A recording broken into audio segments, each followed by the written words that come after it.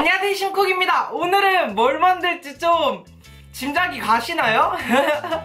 시원한 여름 맞이해서 빙수를 만들어 볼 거예요. 저번에 메론 빙수를 만들어 봤잖아요. 이번에 팥이 들어간 팥빙수를 만들어 볼 건데 그냥 만들면 또 재미가 없죠? 그니까 모양을 특별하게 해서 눈사람 빙수를 만들어 보려고 합니다. 한여름에 눈사람을 볼 수 있다니 눈사람도 이렇게 칼로 푹 찌르면 안에서 피가 콸콸콸 이렇게 나오는 그런 신기한 눈사람 빙수 만들어 보겠습니다. 얼음 베이스, 물, 우유, 연유. 볼에 얼음 베이스. 만들. 물하고 우유하고 연유. 잘 섞어주세요.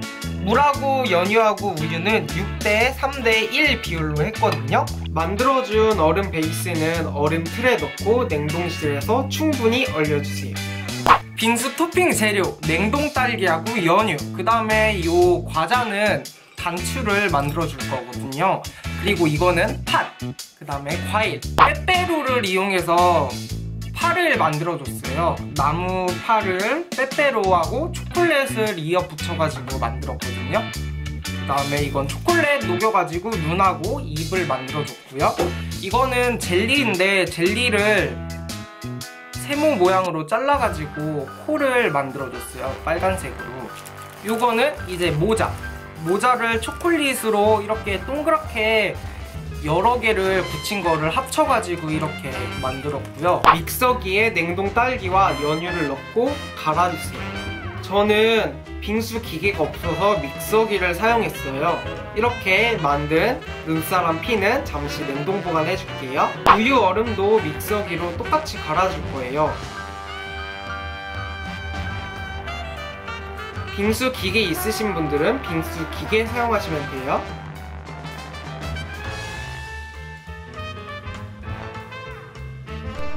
이제 눈사람 몸통을 만들어 줄 건데 눈사람 몸통 원하는 크기만큼의 밥그릇이나 그릇들을 준비해 주시고요. 거기에 얼음과 팥을 넣어 줄 거예요. 얼음은 차곡차곡 쌓아서 속을 가운데 빈 상태에서 이제 팥을 가운데 채워주는 건데 똑같이 두 개를 만들어 주세요. 그리고 이 두 개를 합쳐가지고 하나의 몸통을 만들어 줄 거예요 이렇게 몸통이 나왔으면 잠시 냉동 보관해주고요. 머리도 만들어줄게요. 좀 더 작은 사이즈의 밥그릇으로 얼음을 꽉꽉 눌러 담아가지고 그 속은 파주시고요. 그 안에다가 이제 만들어 놓은 피, 피를 이제 가득 채워주세요. 이 피가 맛있거든요. 그래서 주위에 얼음으로 한 번 더 덮어주시고요. 동일한 방법으로 하나 더 만들어주세요.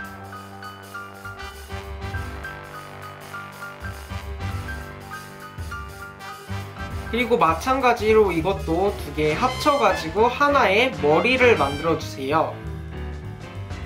만약 잘 뭉쳐지지 않는다면 비닐을 사용해보세요. 비닐 안에 그 뭉쳐진 눈덩이를 넣고 하면 잘 될 거예요.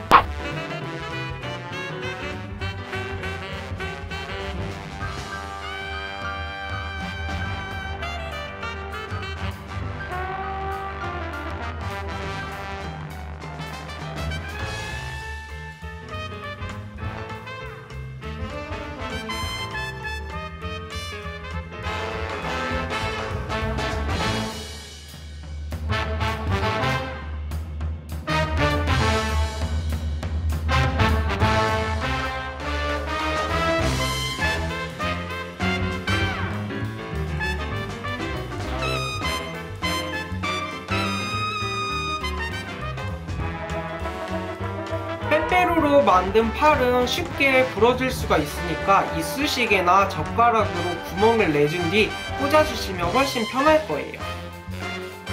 마지막 모자까지 씌워주시면 찌르면 피가 나오는 눈사람 빙수 완성됐습니다. 부시기 아까워.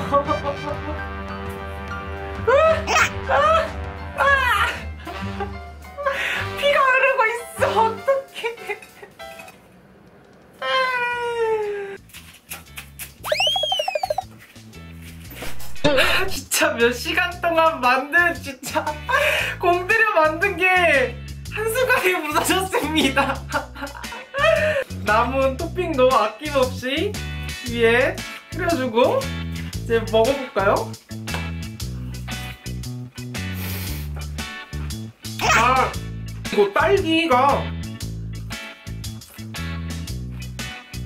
굉장히 맛있네요.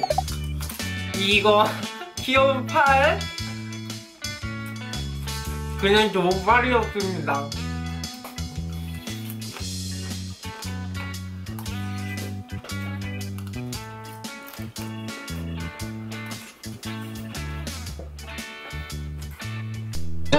아 그거 어.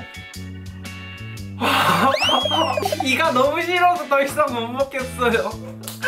아니 몇 시간 동안 힘들게 눈사람 빙수 만든 거를 파바박 부셔버리니까 마음이 너무 아파요. 그치만 어쩔 수 없잖아요.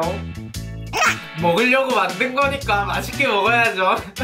원래는 이렇게 자르면 안에서 피가 팍 나오는 그런 빙수를 만들고 싶었는데 그런 눈사람이 아니라 지금 앞에 조명 때문에 좀 얼음 알갱이가 녹아가지고 밖으로 좀 새어 나와가지고 그냥 얼굴 전체가 피범벅된 눈사람 빙수를 만들었습니다. 저는 지금 조명 때문에 너무 뜨거워가지고 녹아가지고 그게 좀 아쉬운데 여러분들은 이쁘게 잘 만드실 수 있을 겁니다. 여기가 좀 많이 덥다는 점 양해 좀 해주세요. 아래 몸통에 있던 팥이랑 또 위 머리에 있던 그 피 딸기가 진짜 너무 잘 어울리고 딸기가 또 연유랑 딸기만 갈았기 때문에 진짜 완전 딸기 맛. 진짜 그냥 완전 생딸기인데 달달한 딸기 아, 찐득한 딸기 아이스크림을 먹는 듯한 느낌이고 식감도 약간 쫀득쫀득한 그런 식감이었어요. 그러니까 여러분들 진짜 따로 여기에 연유를 뭐 더 추가하지 않으셔도 잘 고루 섞어가지고 드시면은 진짜 맛있는 빙수 만드실 수 있을 겁니다. 눈사람 모양이라서 이제 뭐 아이들이나 아니면은 뭐 다 같이 재미로 만드는 재미도 있으니까 여러분 꼭 한번 만들어 보세요. 네 오늘은 이렇게 신기한 눈사람 빙수를 만들어 봤는데 어떠셨나요? 영상을 재밌게 보셨다면 좋아요와 구독 버튼 꼭꼭 눌러주시고요. 이렇게 쉽고 간단한 재료로 재밌게 만든 요리 밑에 댓글에 달아주세요. 신곡 많이 구독해주시고 다음 영상에 봐요. 안녕!